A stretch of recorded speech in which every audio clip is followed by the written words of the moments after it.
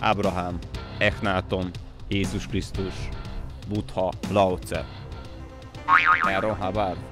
A szientológiáról és alapítójáról már nagyon sok mindent elmondtak. Vannak, akik destruktív szektának tartják, és vannak, akik szerint a világ üdvösségét keresik. Most fordul elő Magyarországon először, hogy egy vezető szientológus névvel és arccal beszél a vele történtekről.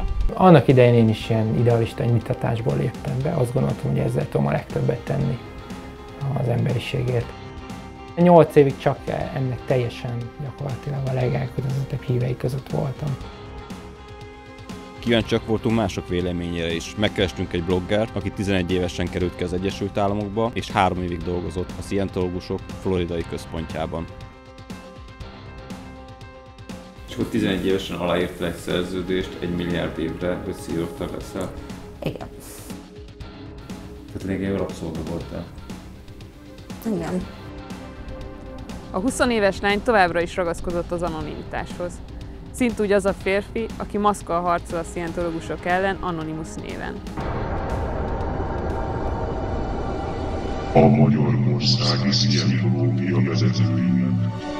Mi, a Magyar Anonymous, a nemzetközi kezdeményezésekkel összhangban háborút hirdetünk a Szientológia egyháza és annak fedőszervezetei ellen. Ahhoz, hogy valaki évekig a szientológia ellen harcoljon, ahhoz kell fanatizmus, vagy elkötelezettség, vagy elkötelezettség felüli valami? Én azt gondolom, hogy elkötelezettség kell. Megkestük a Szientológia Egyházat is. Jó napot kívánok, én Skrapszki Fuzsina vagyok a Heti Választól. A Szientológia Egyházról készítünk egy filmet, az egyik kiugrott tagjuk nyilatkozott nekünk, és arra szeretnénk, ha reagálnának.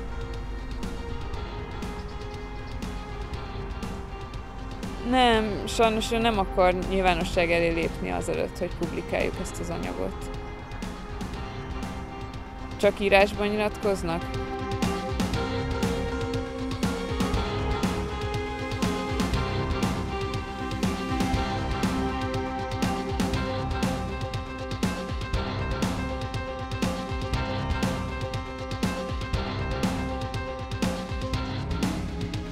Megkaptuk további kérdéseiket, és szeretnénk válaszolni rájuk.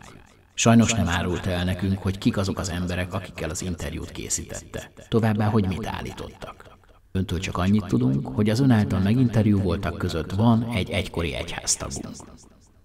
Kérjük megértését. A személyes interjút nem tudjuk biztosítani az önök számára. Amennyiben további kérdései vannak, azokat is írásban szívesen megválaszoljuk. Budapest 2011. 10. hó 30-a. Üdvözlettel Majercsik Vilmos, Magyarországi Szientológiai Egyház. Titkár. Megkerestük a Szientológiai Egyház jogi képviselőjét, dr. Szikinger Istvánt.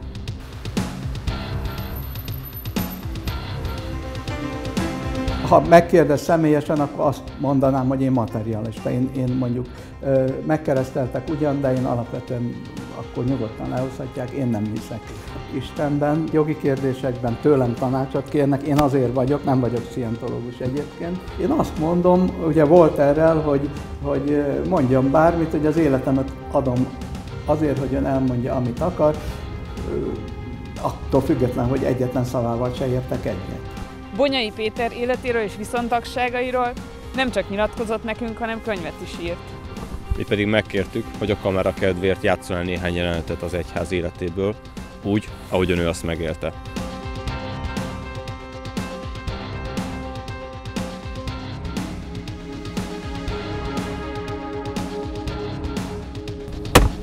Na, mi van?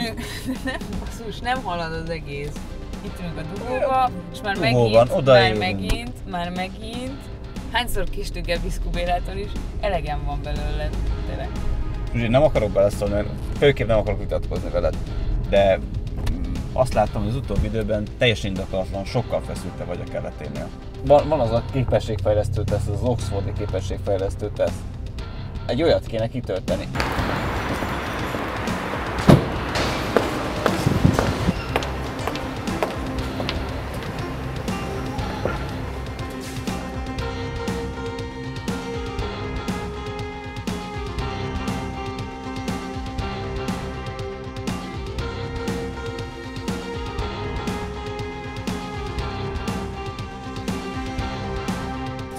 Elkészít a tesztjének a kiértékelése.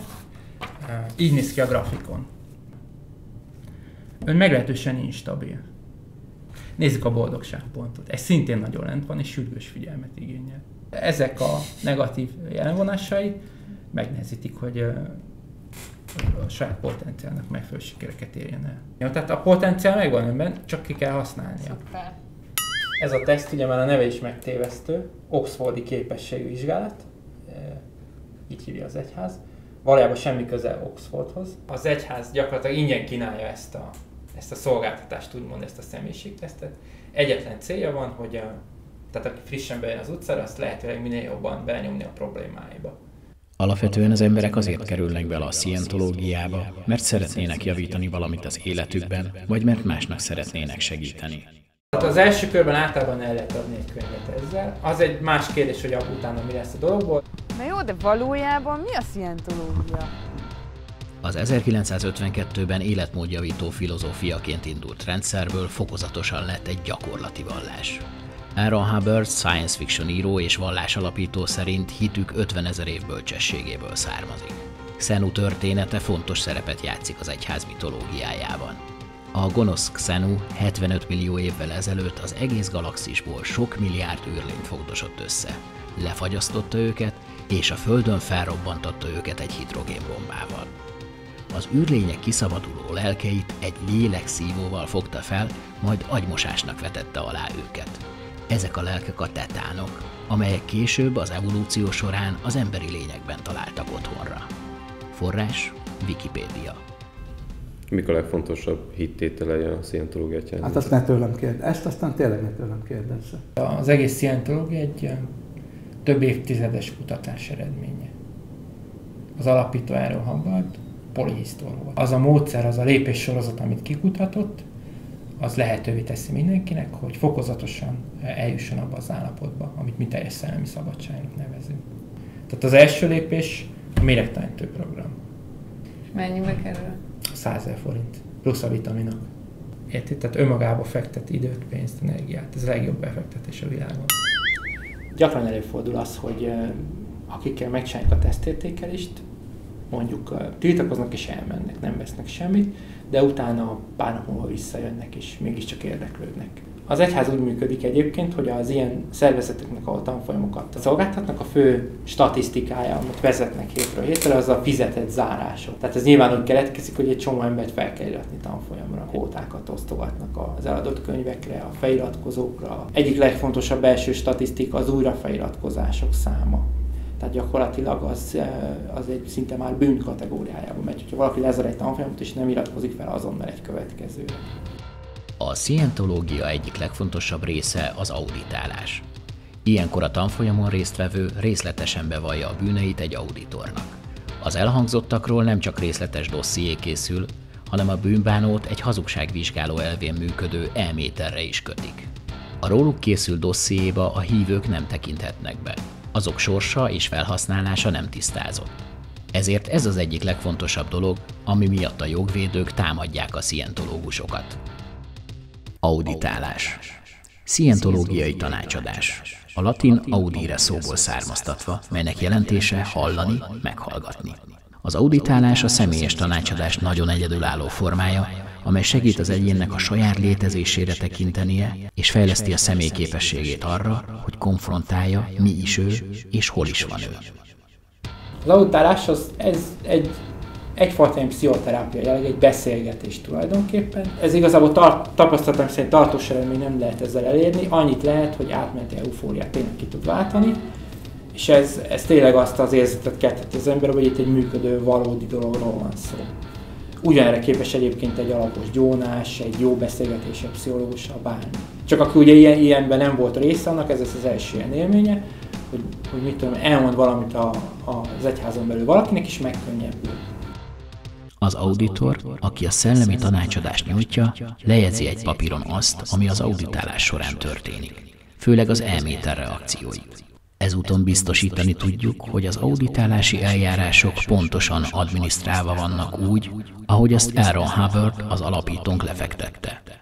Ez az egyháztagok legjobb esélye a gyors szellemi fejlődésre.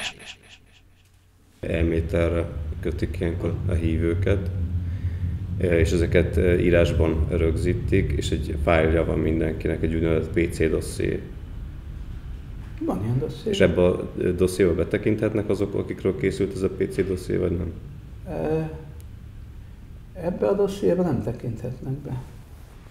Ezek a dossziék... De bocsánat, de tudják, hogy nem tekinthetnek be. Az én elődöm, a korábbi adatvédelmi biztos a legfőbb ügyészhez fordult egy esetben az egyház adatkezelései kapcsán, és a válaszlevélben az volt olvasható, hogy az államnak ilyen egyházi viszonyokban nincs joga beavatkozni. Ennek értelmében örökre és korlátozások nélkül lemondok minden jogomról a PC dossziémé bármilyen más lelki fejlődésemre vonatkozó bármilyen egyéb dossziék és iratok azok tartalmának birtoklását, kontrollálását, hozzáférését, másolatát, másolását és megtekintését illetően.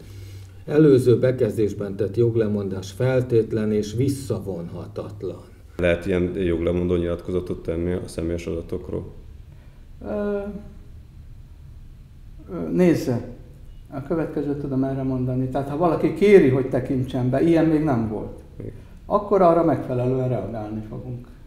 Tehát ugye az adatvédelmi biztos gyakorlatában adatkezeléshez való hozzájárulás van, nem pedig egy ilyen, ilyen tágkörű lemondást. Vizsgáltunk egy kérdőívet is, amelyben olyan kérdések szerepelnek, ahol az érintetnek nem csak a saját adatait kell megadni, hanem más adatait is. Részletes leírást kér azokról, akikkel az illetőnek szexuális kapcsolata volt. Egy részletes és általános leírás magadról, beleértve a legkorábbi bármilyen szexuális élményedet, mikor kezdtél rendezvúzni, és az összes személy nevét, akivel kapcsolatod volt, csinálj egy időrendi leírás személyek neveiről, akikkel szexuális kapcsolatod volt, és hogy mit csináltatok, írd le hozzávetőlegesen hány alkalommal folytattál bármilyen tevékenységet, és jegyez fel bármilyen perverziót, amelybe bocsátkoztál, légy annyira részletes, amennyire tudsz.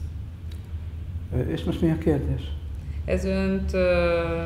Adatvédelmileg nem aggasztja, hogy ilyen kérdések Nem, nem. Tehát amikor ezt a kérdést, én nem tudom, hogy ez hatályos-e, mert amikor a Scientology egyházról van szó, többször kiderült, hogy olyan kérdéssorokat vesznek elő, amit már nem is alkalmaznak. Én nem tudom, hogy igen vagy nem, de azt el tudom mondani, ha nekem egy ilyen kérdést föltesznek, és úgy gondolom, hogy nem kell rá válaszolnom, akkor fogom a kalapom és hazamegyek.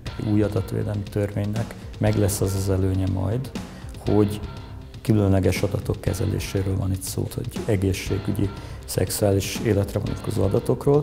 Különleges adatok esetén lehet majd olyan hatósági eljárást indítani, aminek a kapcsán bírság kiszabására is ö, sor kerülhet. Az életed minden, minden aspektusát ellenőrzik. Mi nem piszkálják az egyházban, csak kérdéseket teszünk. Ne, de, de, A parlamentben szólalnak fel, ugye egy törvényesen bejegyzett egyház minősítését magában foglaló kérdéssel, válaszsal, akkor én ezt mondom, hogy ez, ez nagyon távol esik az alkotmányos jogállamtól. Következő jelenet megtörtént eseményen alapul.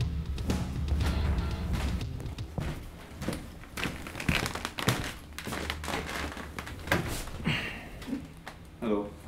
Hello. Hello. Most a tárgyalásról. Szigiger mondta, hogy így öltözzünk nagyobb hatást tesz a bíróra. Szerintem bejött. És akkor lehet, hogy... Ja, hát lát, ez egy komoly dolog, ez egy egyház. Azt az imást kell erősíteni, tudod, mert meg hát befostak egy kicsit, az látszott rajtuk. Az ügyész nem volt olyan izé mindjárt, amikor így megjelentünk. Nekik van valamilyen egyenruhájuk? Láttam már, igen. igen. És ez hogy néz ki? Hát nem tudom, én nem, nem akarok butaságokat mondani, tehát ilyen szakmai kérdésekről ne, ne kérdezzen. Hát talán is, ennek is látták, általában kék színű ingeket hordanak. Láttam már ilyen, ilyen általános lelkészi ruhát is. Ilyenek, igen. Meg vannak ilyen, ilyen címerek is.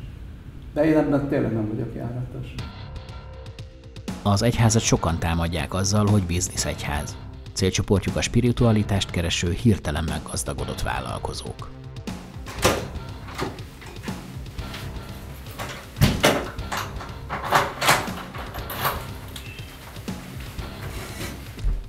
Örülök, hogy eljöttetek. nagyon fontos híreim vannak számotokra. Az elnyomók azon dolgoznak, hogy tönkretegyék az egyházat. Elnyomó személy.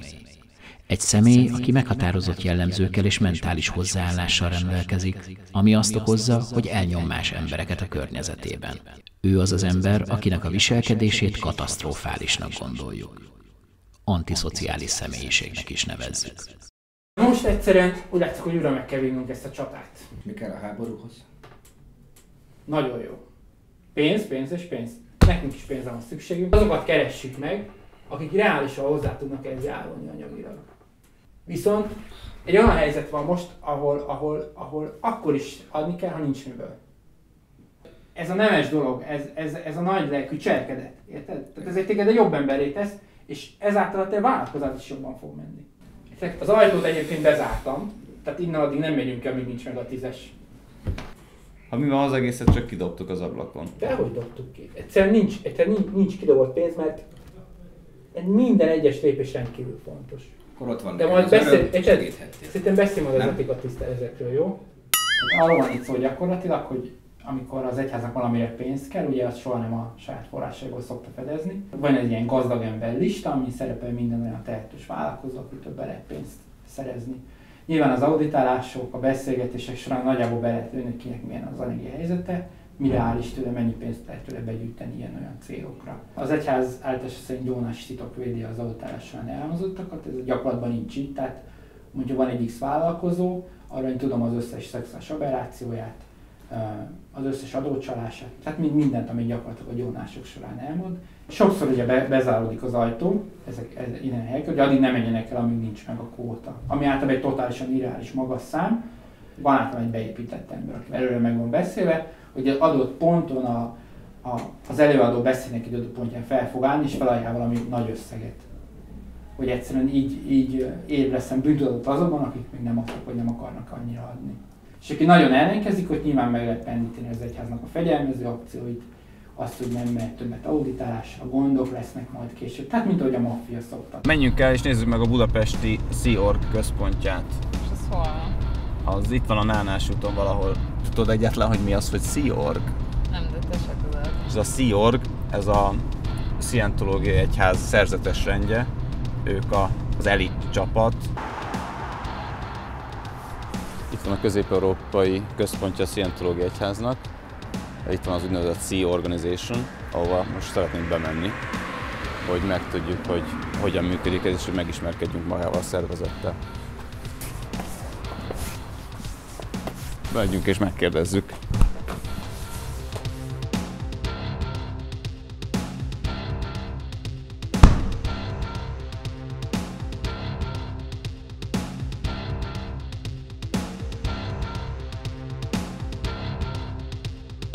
Olyan, mint egy szerzetes rend, tehát olyannak kell elképzelni, egy bentlakásos intézmény, ott az egy milliárd évre szóló szerződés, ugye, ami az örök elkötelezettséget szimbolizálja az egyház felé. Ki van-e számolva? Tehát van egy ilyen terv, hogy hogy lesz clear a bolygó, hogy fogjuk elérni a céljainkat, és hát ennek ez a része. Tehát a munkatársak része, az elkötelezettség, és az, hogy tényleg ilyen nappal megalkuvás nélkül elkötelezetten dolgozzanak a szientológia céljaira. Főhősünk Bonyai Péter blogja mellett van egy másik blog is a neten, amit sokan olvasnak, akiket érdekel ez a téma. Ezt a blogot egy 20 éves lány írja, aki 11 éves korában édesanyjával ment ki az Egyesült Államokba, hogy belépjenek az egyház elit csapatába. Azt gondoltam, hogy ha én is csatlakozom a Sziorkhoz, akkor majd sikerül elérni, hogy valami hasonló helyen dolgozzam, mint anyum, és akkor legalább együtt dolgozunk, és többet láthatom. Anyukám igazából hiába ellenkezett a a toborzót is gyakorlatilag levisszekte anyukámat, hogy én is egy olyan, ugyanolyan tetán vagyok, mint bárki más. Tetán. Halhatatlan szellemi lény. Az emberi lélek. Csak kicsi testben, ezért ugyanúgy képes vagyok felelős döntéseket hozni a saját jövőmmel kapcsolatban. Úgyhogy hajrá! És akkor 11 évesen aláírta egy szerződést egy milliárd évre, hogy szíroktak leszel? Igen. Az a szabály egyébként, hogy az egyház felső vezetésében, az úgynevezett CEO Organizationben már 10 éves kortól lehet jelentkezni. A 16 évnél fiatalabbak nem dolgozhatnak az egyháznak, de segíthetnek önkéntes alapon írásos szülői beleegyezéssel a szabadidejükben, mint ahogy ez megfigyelhető más vallásoknál is, például a katolikus egyházban. A gyerekek számára az a prioritás, hogy végigjussanak az iskolai tanterven és részesüljenek a szükséges oktatásban. Aki a Sziorban az egyház szerzetes rendjében dolgozik, annak olyan reggel 9-től este 10-11-ig folyamatosan dolgoznia kell ebédszünet, vacsoraszünet kivetélve, és ugyanez vonatkozik ezekre a kisgyerekekre is. Ott mennyit találkoztál az anyukáddal? Hát, amikor sikerült közös szabít összehozni. De méterek választottak el titeket? Mm, nyilván méterek, de hát ha reggel 8 este 10-ig dolgozol, nem mehetsz át akármikor a másik épületbe, csak úgy. Nagyon sok kiskorú volt, ez feltűnt. Sziorban az van, hogy elvileg két hetente lehet egy nap szabid, hogyha, hogyha felfelé megy a statisztikád. Csak nem voltak arra tekintet, hogy 11 éves gyerekről, és most mit várnak nem, nem, egy ugyanolyan tetem vagyok, ugyanolyan felelősségteljes. Annak idején Habbardot, amikor még a Sea Organization nevéhez híven hajókon létezett, akkor egy csomó tínédzser korú lány segítette közvetlenül munkatársként Nyilván ez a tradíció megmaradt, és csomó vezető pozícióban tizenéves lányok voltak. Két év után se beszéltetek arról az anyukáddal, hogy ez nem normális? Nem tudtam felmérni, hogy ez normális-e vagy sem. És ezt, ezt ő normálisnak tartotta? Nem hiszem, de nem nagyon volt mit tenni ellene. A családi összetartozás nagyon fontos a szientológiai egyház számára. Aaron Hubbard rengeteget írt a gyermeknevelésről és a családi kapcsolatokról.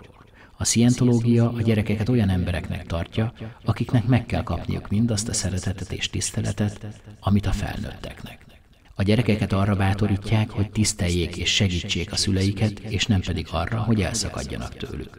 Valójában ők az egyetlen szülei. És nem mertél szólni senkinek? Nem, mert uh mert senkiben sem bízhatsz. Ott van ez a besúgó rendszer, nem, nem tudhatod, hogy mi, mit fogsz visszahallani a főnököttől, vagy az etikatisztől. Bonyai Péter tíz év után szállt ki a szientológia egyházból. Cseriznél három év után szakadt el a cérna. Mivel az egyházra annak idején rengeteg ilyen információ szivárgott ki ilyen napilapokba, azt gondolták, hogy én vagyok az a kény, aki ezeket kiszivárogtatja az egyházba, és ezeket kirendeltek Kopenhágába kihallgatásra. Tehát nyilván úgy kezeltek, mint valami hadifogoly kémet, 24 órás őrzés alatt voltam, ezek mindenhol elkísértek, még a mellékhelységre is, lepukkant hotelszobába laktak, és a éjjel, hogy ne szökjek el, pedig az biztonságért az ajtó elé ott aludt. Nyilván nem találtak semmit, mert egyébként tényleg nem voltam kint, és roppant kínos lett a helyzet a kintiek számára, hiszen gyakorlatilag fél évet teljesen fölöslegesen foglalkoztak velem. Nyilván én elhitettem magammal a habba tanítások alapján, ez biztos nem ott nélkül történt, és valószínűleg valamivel rászolgáltam arra, hogy ezt az utat én most végigjárjam. A legvégén mielőtt végleg elküldtek volna, ügyvéd előtt alá kellett írnom egy papírt, hogy semmi követelésem nincs az egyházzal szemben, illetve elismerem, hogy a minden általam bevallott mulasztás védség úgy volt, ahogy, ahogy én akkor mondtam. Ezt a, ugye három ember kísért oda, hogy véletlenül se szokják el, és az a három ember vissza is kísért. A két ügyvéd, aki jelen volt, azok még ezt uh, tanúként találták ezt a dokumentumot. Konkrét eset volt, hogy az egy kiugrott tag mondta, hogy a legvégén, amikor már tulajdonképpen kirúgták, akkor ide cipelték két uh, ügyvéddel és két taggal, én emlékszem ilyen esetre egyébként, persze. Pontosan arról van szó, hogy amikor elválnak, az a személy, aki itt volt, az egyébként már tett dehonestáló nyilatkozatokat. Én azt gondolom, hogy ez teljesen természetes, vállalatoknál is csinálják, hogy azt mondjuk, hogy rendben van, most akkor fejezzük be ezt, mind a két fél vállalja, és az egyház is vállaltott azért kötelezettségeket nem tudok arról, hogy az én jelenlétemben, mert feltételezem, hogy erről van szó, bárkit bármire kényszerítettek volna, és ez nagyon távol áll az én világomtól. Ha ide jön valaki az ügyvédi irodába, itt még senkit semmire nem kényszerítettek, ez biztos. És akkor most eszébe jut, biztos vagyok benne, hogy több évvel ezelőtt volt. Most eszébe jut elmondani azt, hogy itt megzsarolták. Hát ez nagyon durva dolog. Majd megnézem a filmet, és lehet, hogy akkor én teszem meg a szükséges jogi lépéseket. Akkor volt egy kis örökségem, és akkor ezt az egyház megtudta. Bekértek az összes bankszámla kivonatomat, és akkor gyakorlatilag kiszámolták, hogy mennyi az a büntetés, amit ki kell kellene fizetni a kopályai szervezetnek, és pont kb. annyi lett, mint amennyi pénz volt azon a bankszámon. És akkor elkísértek a bankautomatához, és megvárták, míg kiveszem az összes pénzt. És akkor mit éreztél? Hát nem tudom. Tehát akkor még nagyon az eszme hatás alatt voltam, tehát uh, úgy éreztem, hogy, hogy nem tudom, tehát hogy ez, ha ez van, akkor ez van. Az lett a vége, hogy 2004. júniusában hát mond elszakadt a cérna. Kiakadt a főnökön, hogy én hogy merek neki feleselni, és felpofozott, és, és itt szakadt el teljesen a cérna, és gyakorlatilag nekiugrottam, és ütöttem, csíptem, haraptam, húztam a haját, ahol csak értem, mert, mert egyszerűen kész, elegem volt, nem, nem tudtam tovább elviselni, hogy folyamatosan um, olyan elvárásoknak kell megfelelnem, amelyet egyszerűen lehetetlen teljesíteni. És uh, hát emiatt természetesen megint etikára kerültem.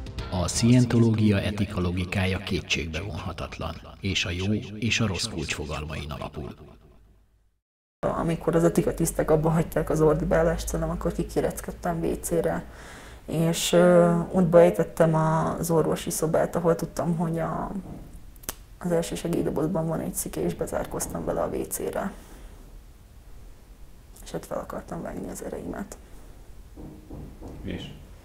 És hát fel is vágtam. Úgy éreztem, hogy hogy nem tudok semminek sem megfelelni, nem tudok uh, agyatlan robottá válni, beállni a sorba, mint mindenki más. Nem tudtam végig gondolni azt, hogy anyummal mi lesz, vagy, vagy hogy a Sziornak ez mit okoz, vagy hogy esetleg ők, uh, nekik ez, uh, hogy mondjam, ilyen PR gondot okozna. Én egyszerűen képtelen voltam azon kívül másra gondolni, hogy, hogy én így tovább nem tudok élni, és ennek véget akarok vetni és hát megtaláltak a WC, és hát mondta, hogy miért nem vagyok lent, azonnal menjek le, és hát mondtam, hogy nem tudok lemenni. Amikor megmutattam neki, akkor így elszörnyedt, és azonnal anyukámat hivatta. Még mielőtt egyáltalán elvittek volna orvoshoz, hogy összevarják a kezemet előtte, még kihallgattak, eméterre tettek. Sokan azt szokták mondani, hogy hasonló elven működik, mint egy hazugságvizsgáló. Egyébként az orvos is szientológus volt, szóval, hogy még véletlenül se tudódjon ki a dolog. Aznap este ugye nem aludhattunk a a szálláson. Az első repülőn, ami több csatlakozással Magyarország felé ment, arra feltettek minket. Bonyai Péter 2008 óta blogot ír Szientológia objektíven és szubjektíven címmel. Most 2011-ben jelenik meg a heti válasz kiadó gondozásában őszinte önvallomása. Szientológus voltam akkor elkezdtem nagyon óvatosan, nagyon félve, de utána menni dolgoknak az interneten. Az, hogy sokkoló volt, hogy számos hasonló történetet találtam, akkor kezdtem rájönni, hogy, hogy ez a rendszer igazából másra szól, mint amire én gondoltam. Egy kicsit ilyen, mondom, szürreális, meg fura, meg olyan mesébe élő dolog volt, hogy hazamegyünk. És anyukád mit mond? Nem volt olyan fanatikus, mint például apukám, szóval neki egyáltalán nem esett nehezére, hogy a történtek után úgy, ahogy van, hátat fordítson neki. Valami hasonló reakciót vártunk volna apukámtól is, hogy, hogy hazajöttünk, de én inkább csalódásnak éltem meg, hogy, hogy ő büszke volt ránk, hogy mi szivatagok vagyunk. Amikor elmeséltem neki, hogy konkrétan miket éltem át kint, és hogy, hogy megpróbáltam öngyilkos lenni, ő gyakorlatilag azt mondta, hogy, hogy ilyen nem létezik a szientológiában, ez biztos valami félreértés, én hazudok, ilyen nincs. Mi lehet a magyarázat arra, hogy a szegény szientológiai egyházat ennyire állnak, befeketítik, mindenhol ilyen negatív kép van róla. Ez nem az én kompetenciám, hogy erre válaszoljak, de azt gondolom, hogy a válaszaimból azért valami, valami sejthető erre vonatkozóan is. Nem tudom, hogy miért diszkriminálnak egy egyházat, és nem tudom, hogyha egy egyházat jogsértőnek tartanak, akkor miért nem folytatják le a megfelelő eljárásokat. Több ex is tartom a kapcsolatot, csak a csak 90%-uk nagyon fél az egyháznak a retorzióitól ugyanis az egyházban van egy ilyen kapcsolat megszakítási irányelv. Ez azt jelenti, hogy ha valaki kilép az egyházból és el fordul, akkor a, automatikusan meg kell szakítani a kapcsolatot minden szientológusnak. És ugye valaki nem szeretné bevállalni az ismerettségét, vagy akár családtagjának az elvesztését, ezért inkább csendben marad az egyház a kapcsolatos negatív véleményével. Megkerestünk egy tehetős nagyvállalkozót is, aki milliókkal támogatta korábban a szientológia egyházat. Bár teljesen elfordult az egyháztól, nem mert nyilatkozni, mert egy közeli hozzátartozója még mindig tagja a szervezetnek. Azt mondtad, hogy ha két-három évvel ezelőtt keresünk meg, akkor biztos, hogy nem nyilatkoztál volna, hogy most eldöntötted, hogy mégiscsak elmondod mondjuk kamera előtt, eltorzított van ezt a történetet. Félsz valamitől még most is? Egyrészt a szientológusok ugranak minden negatív PR-ra. Perrel fenyegetőznek, zaklatnak. A másik meg az, hogy igaz, hogy nem sok kapcsolatom van apámmal, de ő az egyetlen apám, és ő még mindig szientológus. Hogyha én ezt most névvel így, így kiállnék és, és elmondanám, nagy valószínűséggel ennek az lenne a következménye, hogy ő megszakítja a kapcsolatot velem. Nem félsz valamilyen a torziótól? Az egyháznak az a bevet eszköze, hogy az olyan embereket, akik úgymond rosszat mondanak rá, vagy kritizálják, azokat ad hominem, tehát a személyükben támadja. Tehát megpróbálja lejáratni, hitelteleníteni, mindenféle hazugnak, eh, pervers bűnözőnek, meg minden ilyesminek beállítva őket. Mi is számíthatunk arra, hogy egy ilyen film után vagy cikk után elkezdenek minket támadni. Akár. Az biztos, hogy rákerültek egy listára, mint a szientológia ellenségei. Holnap megjelenik a könyv. Milyen érzések vannak benned? Hát izgulok. Nem tudom kiszámítani pontosan, mi lesz az egyház reakciója. Magyarországon te vagy az első, aki névvel könyvet írt erről a Voltak ok közül igen. Megkönnyebbültél? Tehát amikor megírtad a könyvet, akkor volt benne egy, egy ilyen megkönnyebbülés? Nekem személy szerint jól esett, hogy azt így, így le tudtam írni, és oda tudtam tenni egy pontot a végére. Hogyha ebben az interjúban egy kiugrott tag mond dolgokat a szientológia egyházra, akkor a szientológia egyház minket is be fog perelni, és akkor ott Hát amit befog, azt nem mondtam, hogy erről már Nem. beszélgettünk. Tehát van rá jogi lehetőség, igen. igen. És akkor a bíróságon találkozunk. Tehát mondjuk ezt terjesztik, akkor lehet, hogy a bíróságon találkozunk.